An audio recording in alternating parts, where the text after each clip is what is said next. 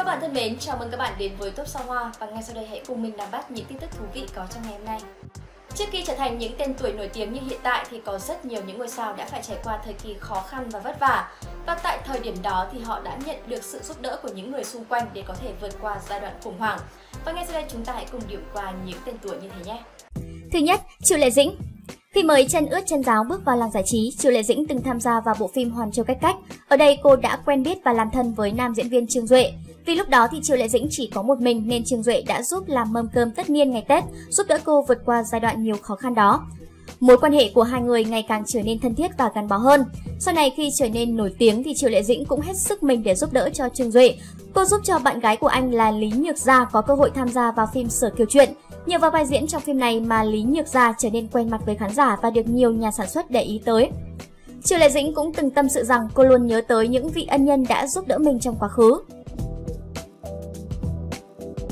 Thứ hai, Lê Tư Lê Tư nổi tiếng là mỹ nhân xinh đẹp bậc nhất của làng giải trí xứ Cảng Thơm. Không chỉ có nhan sắc, cô còn có khả năng diễn xuất ấn tượng, thế nên cô trở thành hình mẫu trong mộng của rất nhiều người đàn ông vào lúc đó.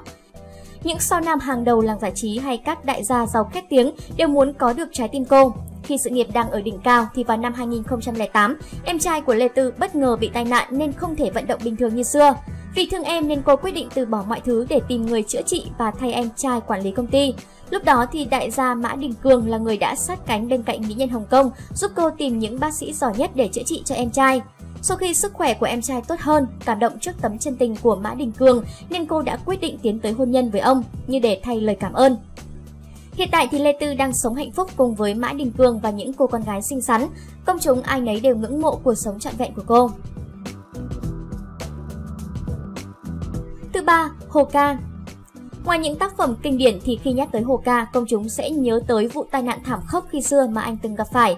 Trợ lý Trương Miện ngồi chung xe với anh lúc đó đã không thể qua khỏi, còn anh cũng bị thương nặng, phải trải qua thời gian dài nằm trong bệnh viện để chữa trị.